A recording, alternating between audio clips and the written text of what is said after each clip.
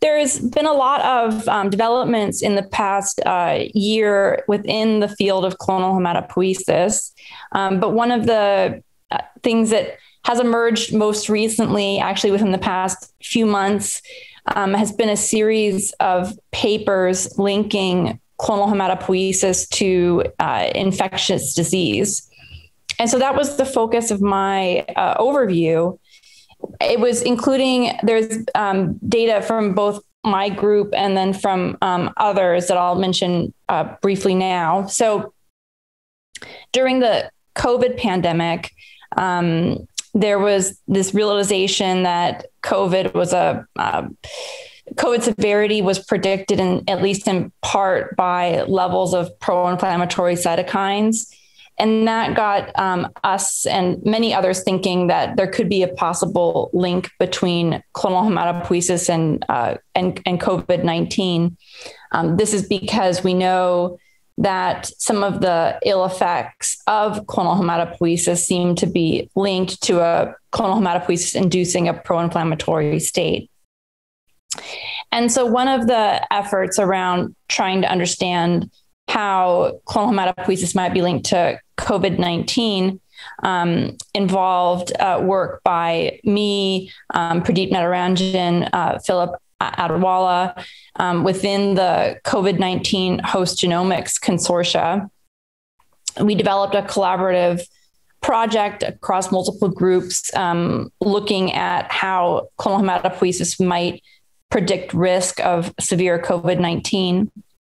And uh, part of that was you was uh, trying to pool data from studies that had uh, panel testing for clonal hematopoiesis or whole genome sequencing. Um, basically, using that methodology, you can detect uh, clonal hematopoiesis driven by point mutations or small insertions uh, and deletions.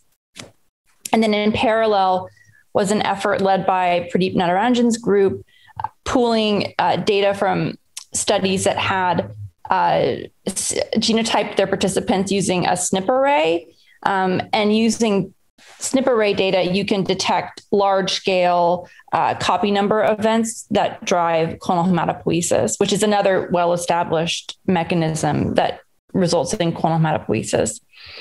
So, uh, just for, for, our for our group, um, we combine data from the impact cohort um, and from the uh, from a consortia within South Korea, and found that clonal hematopoiesis uh, was moderately associated with risk of of COVID nineteen severity. Um, this association seemed to be present regardless of um, how COVID nineteen severity was defined, either by hypoxia or, requiring um, invasive ventilation. And interestingly, we saw that um, that the association was present um, not only when you define CH um, by putative driver mutations that we know uh, drive myeloid disease and we know have the potential to be um, the cause of this clonal expansion. But we also saw this when you defined CH um, as as a mutation that was not a known driver event. So, so this made us think that it could be that um, clonal expansion rather than specific mutations might be important in explaining this association.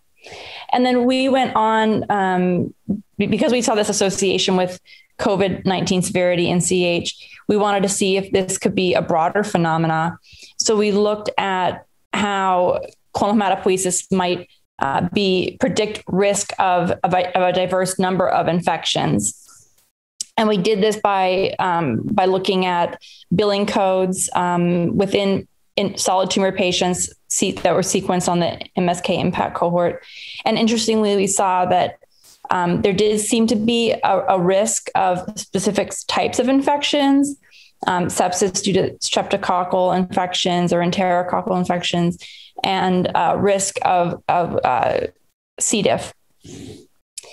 Uh, and then so taking a step back, um, in parallel um, to, to our work, going back to Pradeep Natarajan's work, he also showed that um, when, when you define CH by a mutation um, due to a copy number event um, within the UK Biobank and the um, uh, the Mass General Biobank, um, they saw that CH was associated with a risk of COVID 19 severity using that definition of what as well. And interestingly, um, with a similar effect size. And again, um, within their group, they looked at this more broadly about how um, clonal hematopoiesis might be related to uh, broader types of infections and saw similarly to our data that CH seemed to predict risk of sepsis, um, other types of respiratory infections, and uh, digestive tract infections, among others. So, taking this data together, um, it seems like there is an association between hematopoiesis and risk of infections, um, but the mechanism is still uh, very much unclear. It could be that there is some causal relationship between CH and risk and infection risk, um, be, perhaps driven by uh, CH altering the um, immune function um, and, and local inflammatory environment. But another explanation um, would be, as we know, that clonal hematopoiesis is influenced by a variety of um, environmental factors and you know so, which we tried to account for in this analysis but some of which we you know may not really even know about at this point. Um, so it could be that clonal hematopoiesis really is a biomarker of something else that could be driving this um, and it'll be interesting to see how this develops in the years to come one other uh, piece of information that has been um, increasingly clear is that from uh, from mouse models, clonal hematopoiesis seems to um, not only result in a pro-inflammatory state, but also seems to be promoted by a inflammatory state. And so, uh, the way that you might think of this for, from from epidemiologic human data is that um, you know our results showing that CH might impart a risk of infection um, this may also translate to infection imparting a risk of uh, increased clonal hematopoiesis. And supporting that this might translate into human data was a recent report um, published in Nature Medicine that I reviewed in the talk that describes uh, that a cohort of individuals with HIV and age matched controls um, where they performed deep, sequencing looking for the frequency of clonal hematopoiesis, um, comparing individuals with HIV to age matched controls. And they showed a fairly striking enrichment of clonal hematopoiesis in elderly individuals with HIV.